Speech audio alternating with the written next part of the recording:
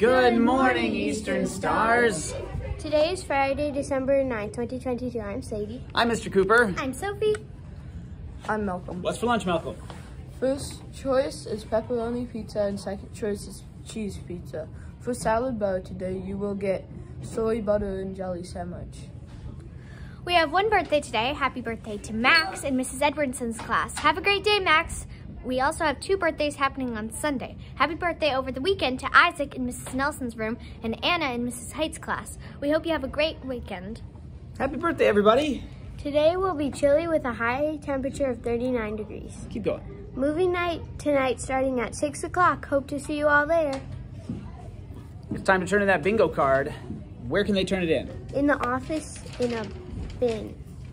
So, you, Sadie investigated. There's a bin in the office where you can put this? Yeah, on the desk. On the desk. Okay, great. Hopefully you got them filled out. Next week, we are celebrating holiday spirit with a week full of Spirit Day themes. Monday is Grinch Day, so dress something green. We are just dressing like the Grinch, not acting like him. I uh, get it. It's Grinch Day, but we're not going to act like the Grinch. We're just going to dress like him.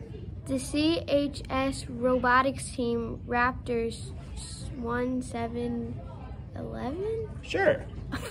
we'll be hosting a Super Science Saturday from 10 a.m. to 2 p.m. on December 10th at Central High School's cafeteria. There, there will be over 12 fun experiments for kids to participate in, as well as demonstrations throughout the day from the robot. Again, that's tomorrow from 10 o'clock to 2 o'clock at Central High School, just over there. Uh, it's the robotics team. So if you're not doing anything, it's super cool to go check out to see what the high school robotics team can do. And some shout outs. Mm -hmm. Mrs. Nelson would like to give a shout out to Caleb in Mrs. Schembarger's class and Isaac in her class. They helped her on the playground. Wait, what? Here, go ahead and do that one. Next one. Mrs. Nelson would also like to give a shout out to Mrs. Culver's room. Their line is doing great as they pass by her classroom. Keep it up, Culver kiddos. Alex would like to give a shout out to Griffin for helping him carry um, supplies upstairs. Mrs. LeBerry would like to give a shout out to Foster, Sawyer, Ava, and Amelia for helping deliver the Secret Santa notes to the staff members. Hazel and Mrs. Fax class would like to give a shout out to Lily for playing with her at recess. Great job giving those shout outs, everyone. That's all we have for you today. Oh, we have a staff of the week. Hold on to that. Mm -hmm. And I'll be right back. Tell them uh, story or something, Sophie.